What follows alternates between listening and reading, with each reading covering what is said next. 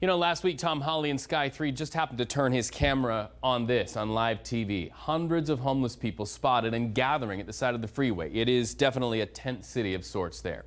Now, that struck me because this is what I saw firsthand in the very same area just months ago. So, this before, this now. The Homeless Project wanting to know what changed and what is changing. Tonight, we ask the man who fights homelessness every single day of his life his answer is this the lack of affordable housing.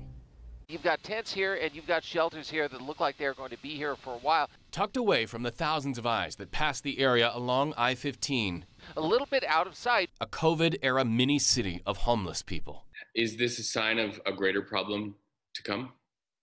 I believe so. Arnold Stalk says his decades of work to end homelessness in our valley through Share Village and other partnerships started with alarm bells going off long ago. No place for people to go. I remember in the in late 1980s, I was interviewed on a PBS special, and it was the title was the series was by the year 2000, no place to rent.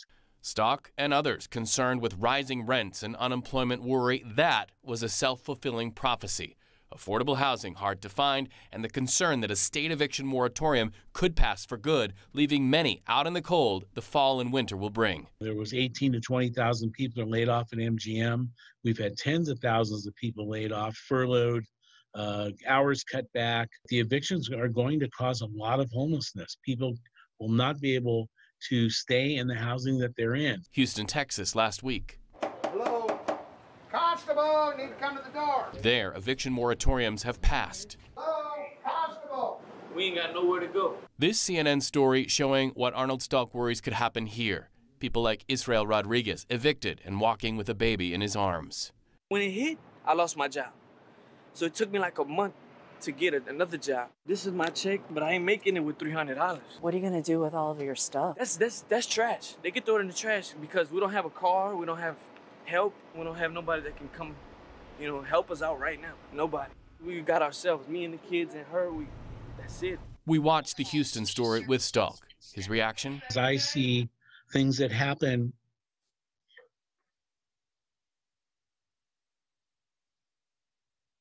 sorry i see things that happen every day that are um, that are very, very uh, stressful. They're hard to watch. If we don't provide affordable housing in Clark County, what will happen?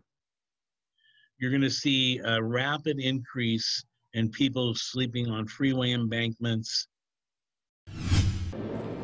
The NFL season kicking off what some are saying could be a once in a lifetime opportunity for both the sports books and the sports bettors.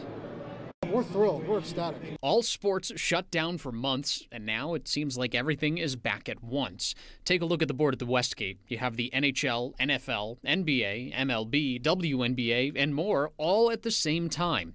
John Murray with the Westgate Sportsbook. You know, normally in August, baseball would be really the only game in town. You might never see this again. What people see inside the sports book is different too. It used to be chairs everywhere, squeezed in, everyone for, everyone elbow to elbow. Now it's very spread out and a lot more safe.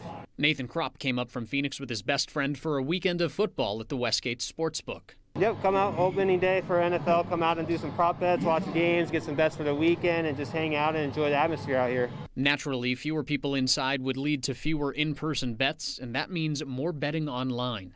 Last year at this time, it was about a 50 50 split between the mobile app and the ticket, the over the counter tickets. This year, it's more like 70% on the app. Regular Gregory Tapscott says he doesn't even really notice a change anymore. He doesn't even register that what's going on in the world right now because my mind's fixated on, on betting. Murray betting the first NFL Sunday will be a much needed success. Sunday in here, it's going to be almost normal again.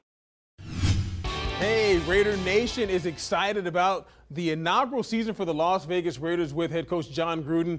The Silver and Black prepping at the beautiful HQ for Carolina this Sunday. And that's where we find Amber Dixon, who breaks down the matchup in today's Raiders Report. Following practice here on Friday is when the Raiders expect to take off for North Carolina, which is where on Sunday they will open their first ever season as a Las Vegas franchise, facing a Panthers team that Coach Jon Gruden says he does not know all that well. Sure, they've got Pro Bowl running back Christian McCaffrey, but they have a new quarterback in Teddy Bridgewater coming from New Orleans and a new head coach in Matt Rhule, who's coming from the college ranks, having last led at Baylor and Temple. I've never seen Carolina on tape, so I'm a little, you know, I got negative feelings about that. I wish I could see something. We've been watching Baylor, we've been watching Temple, we've been watching LSU's offense, and we've been watching Saints offense to get ready for the Carolina offense. So uh, it's been a challenge that way. It always comes down to, you know, you, you win up front, and I think that they've built that team to, to win with their offensive and defensive lines. At last check, the Raiders are favored to defeat the Panthers by a field goal. From Henderson, I'm Amber Dixon. Since ancient times, Mars has intrigued humans. It's named after the Roman god of war. When humans first saw it through the first telescopes, it appeared to have canals leading them to wonder if it was inhabited. Now, NASA hopes a helicopter carrying rover named Perseverance will find out if that's ever been the case, if only on a primitive scale. The central goal of the Perseverance mission is to seek the signs of life on Mars. Not things that are presently alive, but to look into Mars' distant past when the surface was very different, when there were lakes and rivers on the surface. Very different, and according to NASA scientist Ken Farley, possibly very much like Earth before Mars lost its protective magnetic field, allowing particles from the sun to sweep away its atmosphere. With the loss of that um, protection on Mars, the atmosphere was stripped away, the water was lost, and the planet went into an irreversible uh, decline. The ambitious mission to learn more about catastrophic climate change on Mars began July 30th in Florida. And liftoff as the countdown to Mars continues. A plutonium powered rover the size of an SUV began its seven month one way trip to the red planet on top of this Atlas rocket. The perseverance of humanity launching the next generation of robotic explorers to the red planet.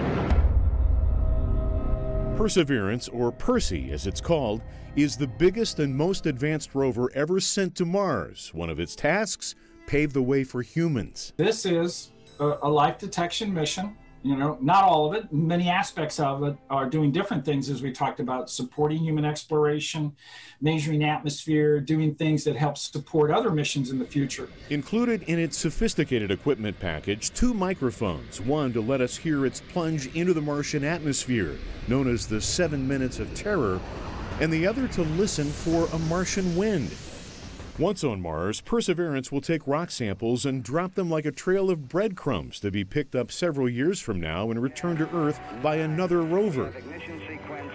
UNLV scientist Libby Hausrath, who's on NASA's Mars 2020 team, says studying those samples in a lab here on Earth is critical. Probably if there was uh, ever life on Mars, you know, bringing samples back is what we would need to know to show that definitively, right? Because you know you can just analyze it with you know um, the the cutting edge laboratory techniques on Earth um, to to look for any of that past evidence. Another experiment will determine if it's possible to convert the abundant carbon dioxide on the Martian surface to oxygen. Perseverance will also deploy a small helicopter from its belly to fly ahead of the rover to locate dangerous terrain and find areas for Perseverance to explore. The rover's landing zone is near the planet's Jezero crater, where there's an ancient river delta that scientists say rivers and streams once deposited sediment from a vast swath of the Martian surface.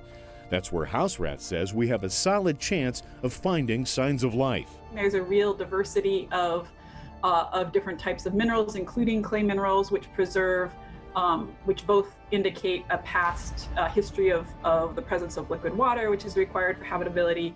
Because of Professor Hausrath's involvement, some lucky UNLV science students will get to help NASA make sure Perseverance goes where it needs to go on Mars, collecting samples. In 2026, a launch vehicle will land with a fetch rover to pick up the rocks, then blast it into Martian orbit where a third spacecraft will retrieve the samples to bring them back to Earth.